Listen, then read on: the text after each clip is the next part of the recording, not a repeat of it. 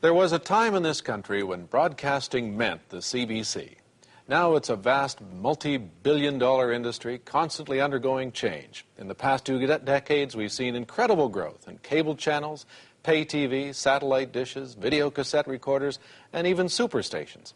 How then does Canada maintain its own voice? Today, a broadcast task force headed by Gerald Caplan, a former NDP official, and Florian Sauvageau, a professor at Laval University, made public their recommendations. The commission spent nine months trying to determine what Canadians want from their broadcasting system, whether it be the private sector or the CBC. But as the journal's Bruce Yaccato reports, there has been a problem that has plagued the industry from day one, a problem that still exists today.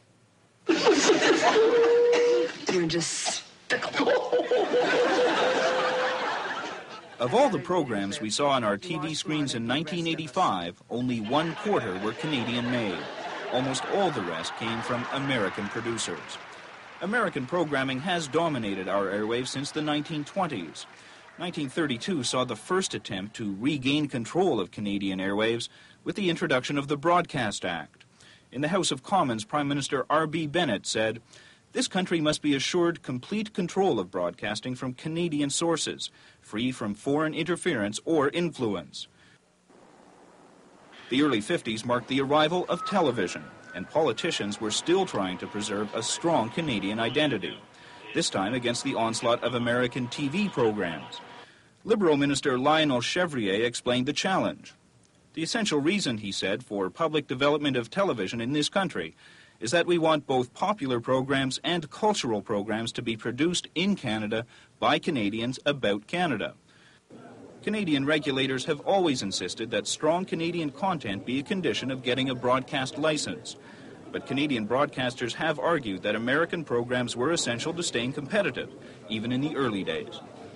For the time being, we are going to have to carry a fairly uh, heavy schedule of American programs in order to keep, compete with American programs from their source. But uh, if we develop Canadian talent, and we are developing Canadian talent, Canadian programs, in time, we will be able to compete on their own ground. Stand away from it. But the simple, overwhelming economic fact of life remains unchanged. It is much cheaper to buy American programs than to produce homegrown equivalents. Consider this. One episode of a hit series the size of, say, Remington Steele costs about a million dollars or so to produce somewhere in California.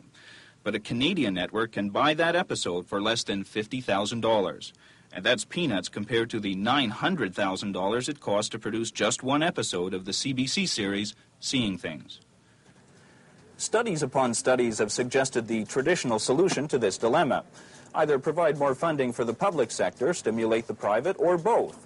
But only the problem has survived. There's still not enough Canadian programs to fill the airwaves. The vast majority of our programming still comes from south of the border. In announcing yet another broadcast task force last year, former Communications Minister Marcel Masse surprised no one in the industry. Changing technologies and economics, increased demand for services, increased competition, these face every broadcaster daily in the exercise of their profession. What the Minister of Communications set up came to be known as the Caplan Sauvageau Task Force. Its members set out to discover just what Canadians wanted from their broadcasters. Among their findings, the agency regulating broadcasting, the CRTC, has failed to carry out its mandate under the Broadcast Act. Private broadcasters are quite profitable, but do not spend enough money on Canadian programming. The CBC does not get enough money to do a proper job. Canadian programs account for only 28% on English language television, and 98% of all drama shown on Canadian television comes from foreign producers. There is a timeless quality about many of these choices and policy decisions. It seems that for some time now, Canadian governments have been calling royal commissions on these matters at the rate of one or two a decade. And not all of them have made much of an impact. The last report on broadcasting, issued by the Applebaum Hebert Commission, has been roundly ignored since it was released in 1982.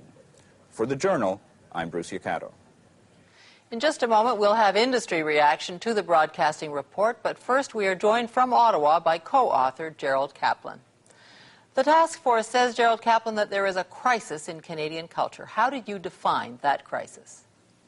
The crisis, Barbara, is the dramatic absence of a significant amount of Canadian shows that you and I can watch in prime time in, uh, on Canadian stations. And you're talking about the CBC here, not just a lack from the private stations. Yeah, we think it's, uh, it's ludicrous in the extreme that the public broadcaster should be using public funds to show films in the middle of the evening, to show programs that you and I can get on four or five other channels in Vancouver, in Montreal, in Toronto. Do you know that we can watch more American programs in many Canadian cities than we could if we were in Manhattan? That doesn't seem to be sensible for the CBC. Now, I'm sure that all the broadcasters that came before you told you why the situation prevails as it is and told you the cost of doing otherwise. Why do you believe we can fix it?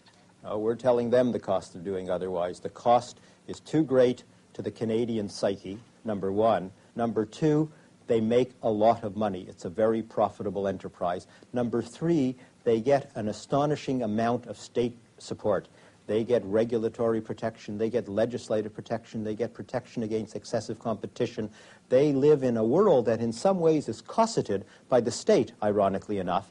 And we're arguing that they should continue to keep that protection, but that they've got to make a substantially bigger contribution back to the public in return. What, where is the evidence that Canadians will watch an extremely added amount of Canadian content? You're, you're asking the Okay. consumer to pay Okay. for a whole lot more Canadian content. Do they want it? We argue that in principle, it is improper for a broadcasting system of any given nation to have dramatically more of another nation's output than of our own.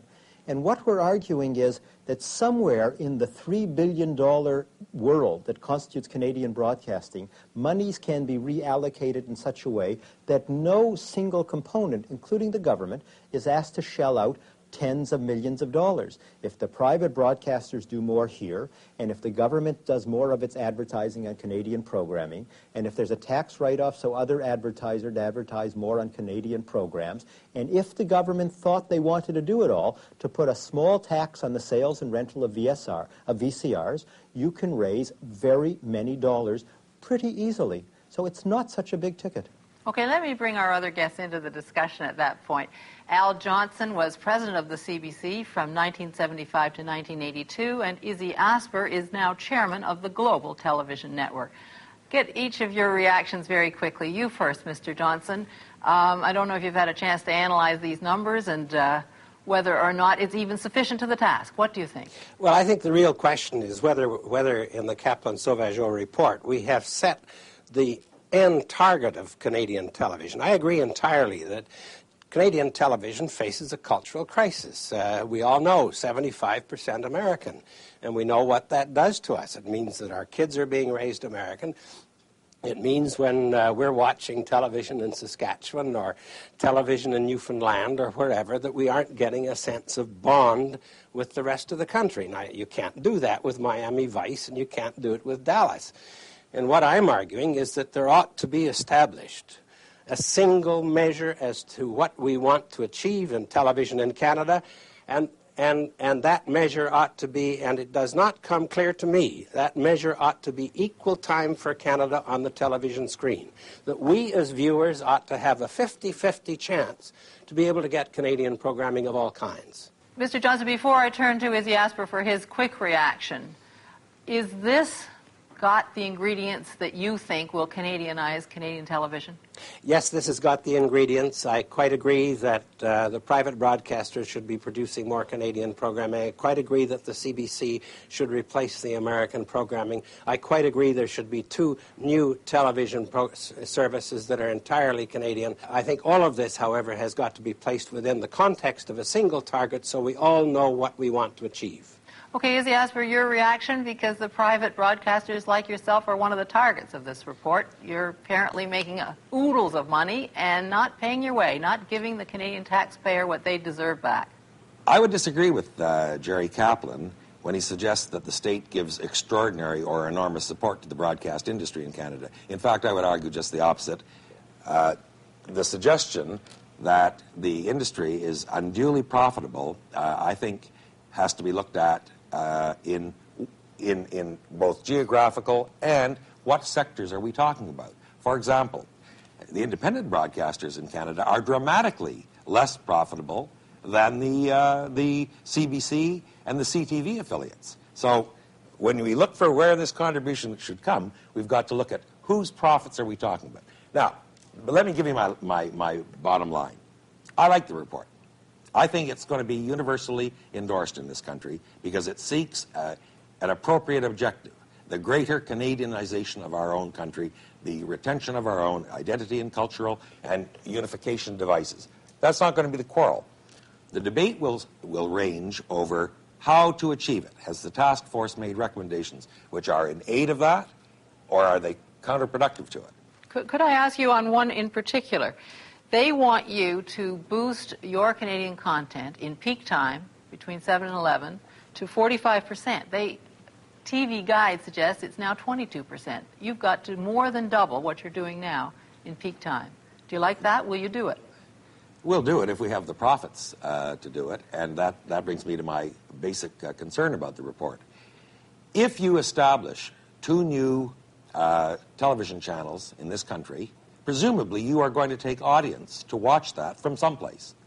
If you take audience from us, then it's going to affect our bottom line.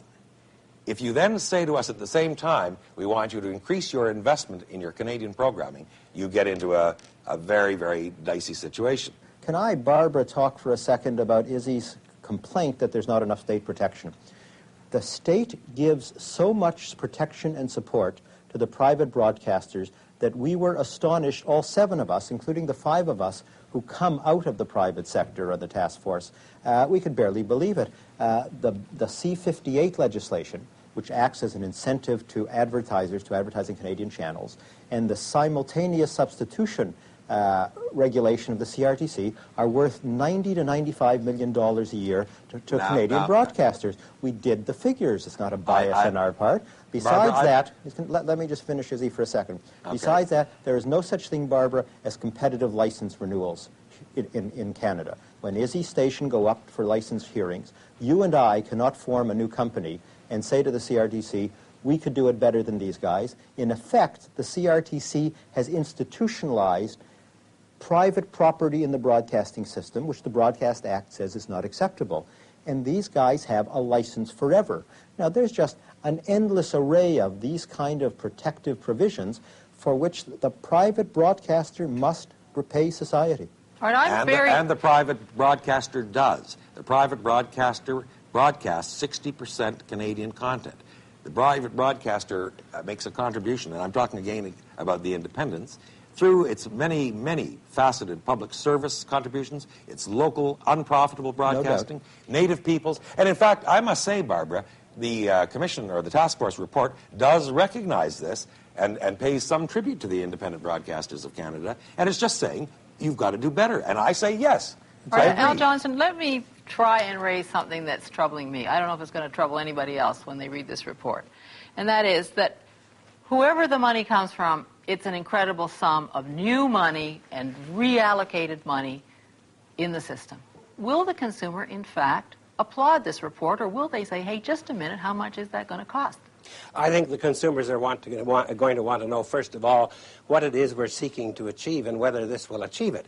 Uh, if, we, uh, if we achieve a thoroughly Canadian television service, I think, that they will, I think that they will agree with it. I think they will go along with it. How much of your report, Jerry Caplan, do you think will be implemented? Oh, uh, we're, we're not uh, pessimistic at all. I think we offer the government a lot, and uh, if it wants to go down in history, as I think from time to time Mr. Mulroney would like to do, then I think we give them one of the tools to do it. I, I think there's a real chance. You know I'm not politically naive, but sillier things have happened than a government like this embracing our kind of recommendations. Okay, we thank you all. Thank you very much, Barbara. Thank you. Thank you.